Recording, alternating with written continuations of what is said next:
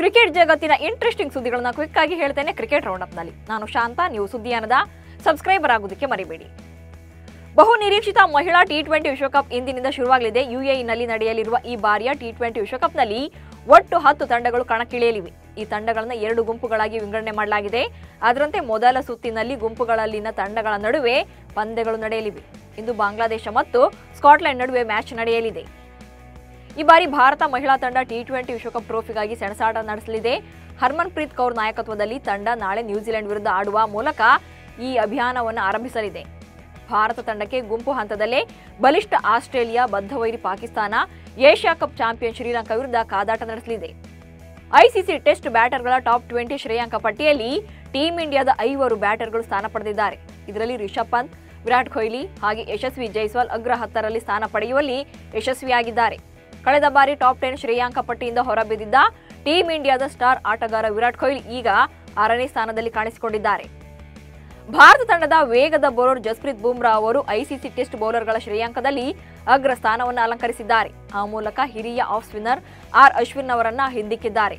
ಬಾಂಗ್ಲಾದೇಶ ವಿರುದ್ಧ ಎರಡು ಪಂದ್ಯಗಳ ಟೆಸ್ಟ್ ಸರಣಿಯಲ್ಲಿ ಜಸ್ಪ್ರೀತ್ ಬುಮ್ರಾ ಅವರು ಅತ್ಯುತ್ತಮ ಪ್ರದರ್ಶನ ತೋರಿದರು. ಇದರ ಫಲವಾಗಿ ಬುಮ್ರಾ ಅವರು ಶ್ರೇಯಾಂಕದಲ್ಲಿ ಅಗ್ರಸ್ಥಾನಕ್ಕೇರಿದ್ದಾರೆ ರೋಹಿತ್ ಶರ್ಮಾ ಮುಂಬರುವ ಐಪಿಎಲ್ ಸೀಸನ್ನಲ್ಲಿ ಮುಂಬೈ ಇಂಡಿಯನ್ಸ್ ಪರ ಕಣಕ್ಕಿಳಿಯೋದು ಅನುಮಾನ ಎನ್ನಲಾಗ್ತಾ ಇದೆ.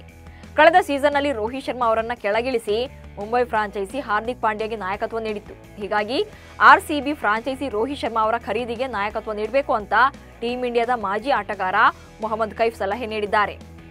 ಐಪಿಎಲ್ ಹರಾಜಿಗೂ ಮುನ್ನವೇ ಸಚಿನ್ ತೆಂಡೂಲ್ಕರ್ ಪುತ್ರ ಅರ್ಜುನ್ ತೆಂಡೂಲ್ಕರ್ ಐಪಿಎಲ್ ಫ್ರಾಂಚೈಸಿಗಳ ಗಮನ ಸೆಳೆದಿದ್ದಾರೆ.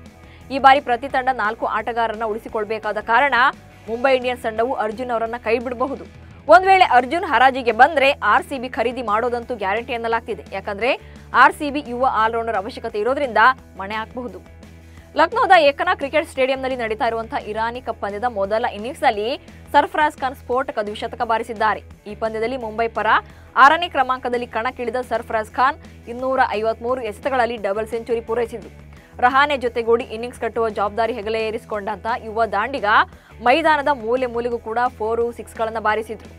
ಚೆನ್ನೈನ ಚಪಾಕ್ ಸ್ಟೇಡಿಯಂನಲ್ಲಿ ಭಾರತ ಮತ್ತು ಆಸ್ಟ್ರೇಲಿಯಾ ಅಂಡರ್ ನೈನ್ಟೀನ್ ತಂಡಗಳ ನಡುವೆ ಟೆಸ್ಟ್ ಪಂದ್ಯ ನಡೀತಾ ಇದೆ. ಪಂದ್ಯದ ಎರಡನೇ ದಿನ ಭಾರತ ಅಂಡರ್ ನೈನ್ಟೀನ್ ತಂಡದ ಆರಂಭಿಕ ಆಟಗಾರ ವೈಭವ್ ಸೂರ್ಯವಂಶಿ ವೇಗದ ಶತಕ ಸಿಡಿಸಿ ದಾಖಲೆ ಬರೆದಿದ್ದಾರೆ. ಹದಿಮೂರು ವರ್ಷದ ಸೂರ್ಯವಂಶಿ ಕೇವಲ ಅರವತ್ತ ಎರಡು ಎಸೆತಗಳಲ್ಲಿ ಹದಿನಾಲ್ಕು ಬೌಂಡ್ರಿ ಹಾಗೆ ನಾಲ್ಕು ಸಿಕ್ಸರ್ಗಳ ನೆರವಿನಿಂದ ನೂರ ನಾಲ್ಕು ರನ್ ಗಳಿಸಿ ರನ್ಔಟ್ ಆದರು.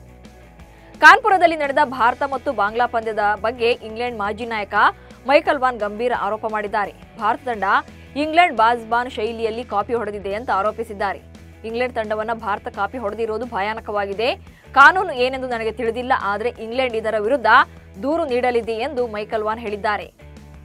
ಹುಲಿಗಳ ನಾಡು ಮಧ್ಯಪ್ರದೇಶದ ಚಂದ್ರಾಪುರ ಜಿಲ್ಲೆಯಲ್ಲಿರುವ ರಾಷ್ಟ್ರೀಯ ಉದ್ಯಾನವನವಾದ ತೊಡೋಬಾಕ್ಕೆ ಸಚಿನ್ ತೆಂಡೂಲ್ಕರ್ ಅವರು ಕುಟುಂಬ ಸಮೇತ ಪ್ರವಾಸ ಕೈಗೊಂಡಿದ್ದಾರೆ. ಪ್ರಾಣಿ ಪ್ರಿಯರಾಗಿರುವ ಪತ್ನಿ ಅಂಜಲಿ ಜೊತೆ ತಡೋಬಾ ಹುಲಿ ಸಂರಕ್ಷಿತ ಪ್ರದೇಶದಲ್ಲಿ ಸುತ್ತಾಟ ನಡೆಸಿದ್ದಾರೆ. ಇವಿಷ್ಟು ಇವತ್ತಿನ ಕ್ರಿಕೆಟ್ ರೌಂಡ್ ಸುದ್ದಿಗಳು. ನಮಸ್ಕಾರ.